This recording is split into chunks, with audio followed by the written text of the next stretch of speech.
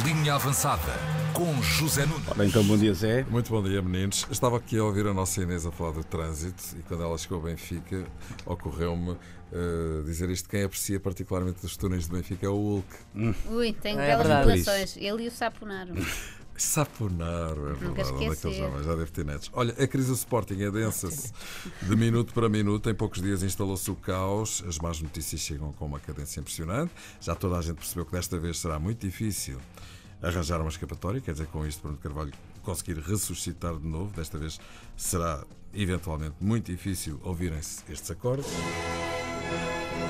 Já Jesus, e aqui sim, esta música não é muito a propósito, a avaliar, até pelo nome, poderá até ficar e ser ele sim, e faz mais sentido que seja ele, lá está, por alguma razão tem o nome que tem, hum, que seja ele uh, o ressuscitar. De suspenso e antecipadamente despedido, JJ, mesmo dorido no corpo e na alma, poderá ser recuperado, reabilitado, ressuscitado, lá está, se de determinadas premissas se cumprirem, o recorde de hoje fala nelas, passa a ler, Jesus fica se Bruno sair. Quem fica, ficou. E tudo aponta nesse sentido, a avaliar pela cruz que, por exemplo, José Maria Richard e Bruno Alves e Bruno, perdão, Rogério Bruno Alves. Também é bom para o cruzes. É o Rebolation.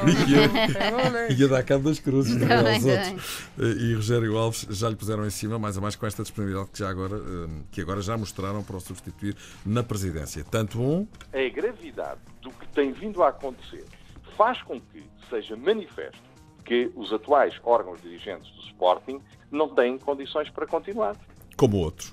Eu entendo que, face a estes últimos acontecimentos, não há mais nenhuma condição para que esta direção, presidida pelo Dr. Bruno Carvalho, se mantenha eh, em funções. Impressionante a forma como tudo se desmoronou em menos de um fósforo. Os notáveis do Sporting que andavam com Bruno O'Call, os comentadores alinhados e até não alinhados. Toda a gente mudou o chip em dois dias e já todos defendem de forma unânime que Bruno must go.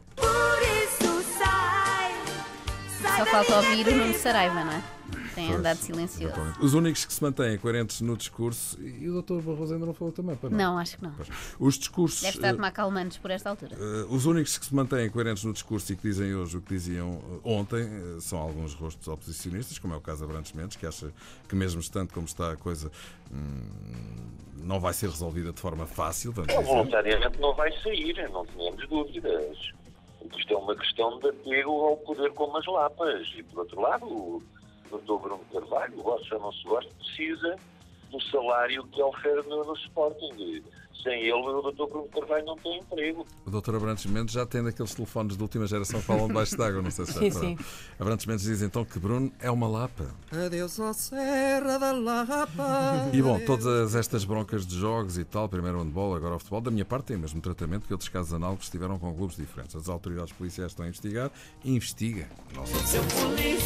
Factos são uma coisa, presunções outra completamente diferente.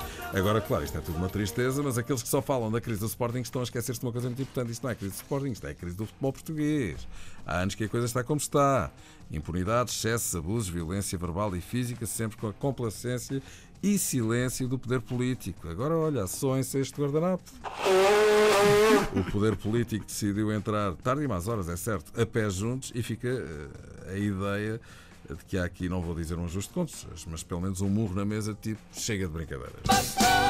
E vamos lá ver onde é que isso vai parar. Ou seja, hum, há vários tipos de incêndio, mas o modus operandi é o mesmo. Também no futebol não se limparam as matas e agora chegou a hora das medidas radicais. A minha leitura é essa. Entretanto, e para além da crise do Sporting, o que é que temos mais? Ora, pois temos o primeiro jogador a ser vendido no Porto. Ricardo vai para o Leicester.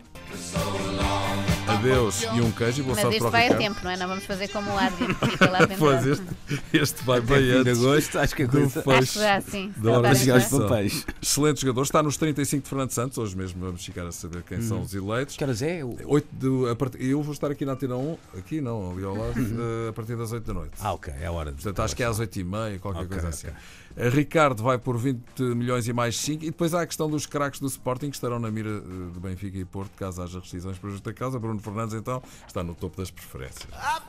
Isto é o que dizem os jornais. Mas fica melhor de azul. Hum. Vamos ver como é que isto vai acabar. Francamente, eu acho que se houver eh, situações destas, ninguém vai querer ficar em, em Portugal.